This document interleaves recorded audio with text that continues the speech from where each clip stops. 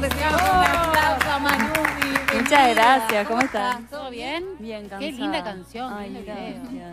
Es uno de los temas que está Del dentro disco. del, del disco, Mm. ¿no? Contanos sesiones de diván, ¿cómo surge? ¿Cómo es esta idea? Surgió, en realidad fue así, nosotros teníamos como la necesidad en el, en el equipo de- del estudio de hacer productivos los sábados de mañana, como que sentíamos que los sábados de mañana era un, No un tiempo rinde. del día que, que- que no hacías nada Bueno, y lo res- perdías. Resaca de los viernes también, ¿no? Nos saca los viernes. ¿Eh? ¿Cómo se nota que no tienen hijos? Y entonces dijimos, hagamos productivas la mañana de los sábados y nos arrancamos a juntar todos los sábados de mañana a charlar igual de la vida, un mate. Y, y en base a eso fuimos sacando como ideas para hacer canciones, como que temáticas y a- escribíamos como un par de frases. Y después fuimos agarrando todas esas ideas y fuimos haciendo canciones. eh, y después tuvimos que, de todas las que hicimos, seleccionar algunas. Y, ahí surgió el disco. También sesiones de Iván porque eran como juntadas en las que hablábamos de temas La vida, el amor. la el- vida, como muy profundos y nadie juzgando a nadie, entonces era como abrir tu corazón tranquilamente sabiendo que nadie te iba a decir nada. Fue Grupo- ¿no? Claro, muy Sí. terapéutico. ¿Grupo de cuántos? Tres. De tres. Uh, bueno, ta- tampoco son tantos, ¿no? Sí. Y, y las canciones también hablan de esas cosas que hablaron ahí. Sí, mucho de... Yo sentía la necesidad de... Sentía como que había aprendido muchas cosas, tanto en terapia como con de experiencias de la vida, que sentía que podía aportarle a, otras personas algo o herramientas que yo había aprendido, que por ahí las compartía con mis amigos o con mis seres queridos y sentía como que a través de la música podía como eh, ayudar a alguien quizás o acompañar a alguien en un momento difícil o que, no sabía mucho para dónde ir. Pasa, la música habla de ocho temas, de diez temas. ¿Cuántos hablan de amor? Los diez. Eh, no, ¿sabes que no? ¿No? No. Hay una estadística como el tiempo de participación en Y pantalla. debe haber una estadística. Sí, seguramente la mayoría. Es que pasa que es, es lo. Todos tenemos eso en común. O sea que el amor y el desamor es como que está tan presente que... Sí, y sabes que también hay como muchas canciones que, ponele Superpoder, la que sonaba recién, Sí. eh, en realidad habla del miedo al rechazo.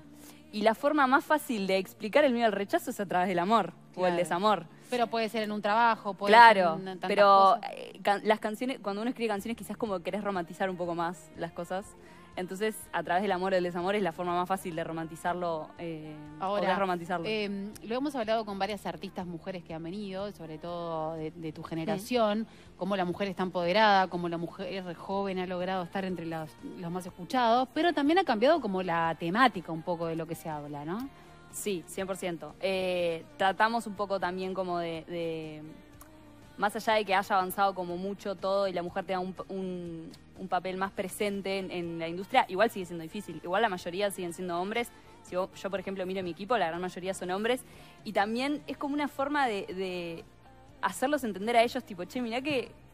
Mirá que es difícil esto y me cuesta y necesito como también tu ayuda para, para como mostrar eh, el, el rol de la mujer en, en esta industria y cómo debería seguir eh, mejorando y, y avanzando. ¿Cuánto influyó para vos, que venís de familia de artistas, para este presente tuyo y para que realmente te metieras tan rápido en el ambiente? Mucho, mucho. Mucho. Sin, sin el apoyo de, de mi familia nunca, nunca hubiese llegado a donde llegué. También me pasaba que eh, ver a tantas personas en mi familia como artistas que no habían podido dedicarse 100% al arte fue como una motivación de decir, che, yo necesito hacerlo esto también por toda mi familia que no lo pudo lograr, ¿entendés? No sé, por ejemplo, veo a mi papá que mm, es la persona más fanática de la música y del arte que existe, o sea, está las 24 horas del día escuchando música y todo el tiempo, che, mira esto, mira lo otro, como descubriendo cosas y mm, verlo a él que no pudo 100% dedicarse a esto fue como, ta, yo también lo tengo que hacer por ellos, Claro, no solo por mí. También te ayuda a convivir con, reali- con diferentes realidades. que Obvio. No todo es para el éxito o pueden continuar con una 100%. carrera cuando uno O le sea, yo estudié, me, me recibí este año de eh, administración de empresas, me ha llevado al área de marketing y creo que en parte en haber hecho eso fue también haber visto, che, si ellos tuvieron que hacer otras cosas, quizás yo también tendría que hacer Está bien, otras pero el marketing incluso lo podés aplicar a Obvio. tu laburo. Sí, sí, 100%. directamente, Son herramientas 100%. que no te van a venir mal, ¿no? No, no, la aplico 100%, todo el tiempo. Y en esos encuentros que hacían de, de diván, de sesiones, eh, ¿graban las charlas? ¿Vas escribiendo lo que va saliendo para no perderte determinadas Sí, frases? lo que hacemos es eh, papel o, o un drive y tirando frases y, y ideas que se nos van ocurriendo y después como tratamos como de armar un cuento con eso. Eh, hay una de las canciones, por ejemplo, eh, que inventamos un personaje. A partir de las, las vivencias de cada uno, inventamos un personaje y le creamos como características. Se llamaba Pedro, me acuerdo, y era como, bueno, ¿qué le pasa a Pedro? Y, y fuimos como creándole su vida en base a las experiencias que habíamos vivido todos y al final creamos una historia de una persona ficticia y que al final escuchamos la canción y decíamos, "Ta, pero en realidad todos yo". nos pasó Oh, esto. claro. Y entonces, si te tenés que elegir en, en un, un tema del álbum que te identifique más, que te, te llegue más al corazón, ¿cuál, cuál elegirías? Eh, pa, la verdad es que no puedo elegir uno. Eh, hay dos que son como los, los que más me llegan, que son Sesión en el Diván, que fue la que le dio nombre al, al disco, que habla como... Yo siempre sufrí mucho eh, las, la opinión ajena y como el- el, La mirada del otro. La mirada del otro. El que dirán era algo que me pesaba mucho, hasta hace muy poquito. Y quería hacer una canción como con respecto a eso. Hace unos años me acuerdo que me, me llegó un mensaje eh, de una persona eh, como que decía, qué asco lo flaca que estás. Era un momento en el que yo estaba muy flaca. Yo era consciente que estaba muy flaca y era porque estaba muy angustiada, estaba tan angustiada que se me dificultaba mucho comer. Y Yo era muy consciente de eso y me miraba al espejo y, y lloraba y era horrible y que una persona venga y me diga qué asco lo flaca que estás, Sí, es un puñal en el corazón. pero me, me destrozó. Y claro, era un momento en el que yo estaba vulnerable. Quizás Claro. me lo decías en otro momento de mi vida, iba a leer el comentario y iba a seguir con mi vida. Y quería hacer como hincapié en eso, como vos no sabés por qué, por qué lucha qué está la otra persona como para ir y decirle cosas tan feas. Entonces quería hacer como una canción de eso, como reflexionar en qué pasaría si todo ese tiempo que invertimos en mirar al otro y juzgar al otro, lo invirtiéramos en nosotros mismos y, y mejorar como personas. Y después el otro de los temas que es como de los más fuertes es eh, uno que se llama Canción para mí, que es una canción que le escribimos como a nuestro niño interior. Y cómo a medida que vamos creciendo, como vamos perdiéndolo y cómo buscamos esas formas de, de conectar de nuevo con, con ese niño interior.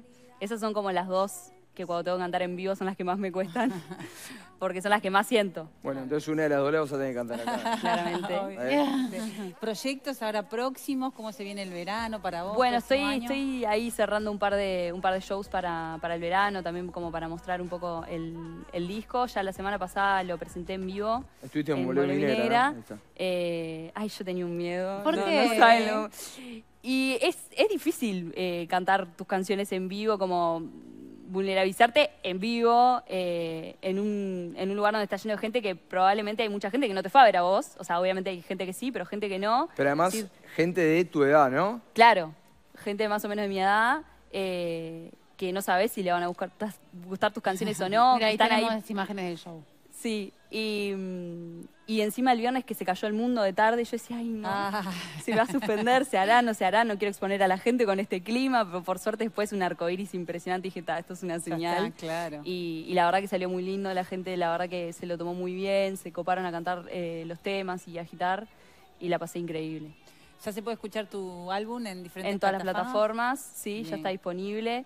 Eh, estoy viendo ahí formas, alguna forma de, claro, es un disco entero, no le puedo hacer videoclip a los 10 temas porque es, es un montón. Eh, a ver qué podemos hacer como visual para, para mostrar todos los ¿Te temas. gusta estar también en la cocina del, del videoclip? Cuando... Sí, me encanta. ¿Te? Sí, sí, sí. Eh, yo estoy jugando en todas las canchas. Eh, siendo artista independiente no te queda otra que te jugar en todas las canchas. claro. Me maquillo, me peino, eh, ve- vestuario me encargo yo, dirijo. De todo lo que haces, ¿qué es lo más difícil, lo más complicado de hacer como artista? Lo más difícil, ay, a mí lo que no me gusta es la parte más de, de negocios y estar atrás de, de los presupuestos, esas cosas. no. Ah, qué difícil. Es que yo si fuera por mí haría todo gratis, no, no, no me importa, no lo hago por la plata, ¿entendés? Pero ta, tengo que vivir de algo. Claro. Eh, pero toda esa parte no. ¿Y lo más lindo? Y lo más lindo es hacer Cantar. canciones. Bueno, te queremos. Gracias por haber venido. Gracias. Bueno, mejor, gracias por invitarme. Hoy les voy a tocar sesión en el diván y ojalá que haga reflexionar por lo menos a alguien.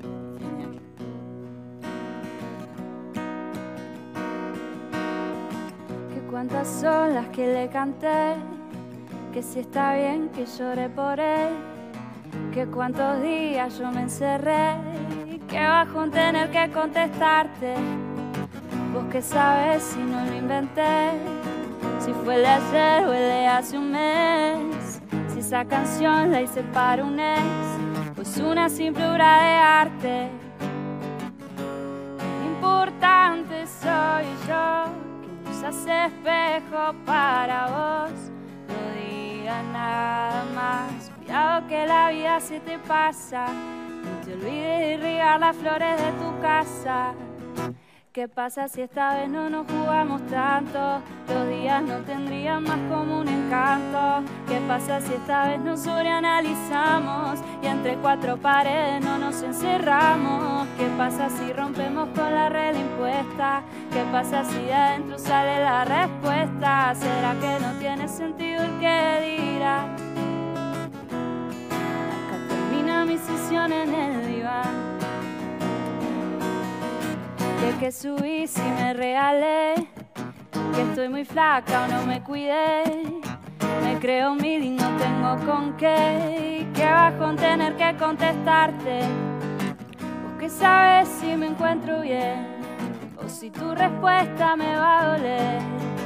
Soy ser humano como vos también, perdóname por desilusionarte. Tan importante soy yo usas espejo para vos, no digas nada más. Cuidado que la vida se te pasa, va siendo hora que te saques la coraza. ¿Qué pasa si esta vez no nos jugamos tanto? Los días no tendrían más como un encanto. ¿Qué pasa si esta vez nos sobreanalizamos y entre cuatro paredes no nos encerramos? ¿Qué pasa si rompemos con la red impuesta? ¿Qué pasa si adentro sale la respuesta? ¿Será que no tiene sentido el que dirá?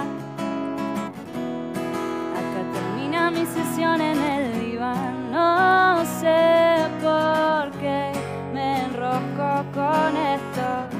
Si soy yo misma, que me importa el resto?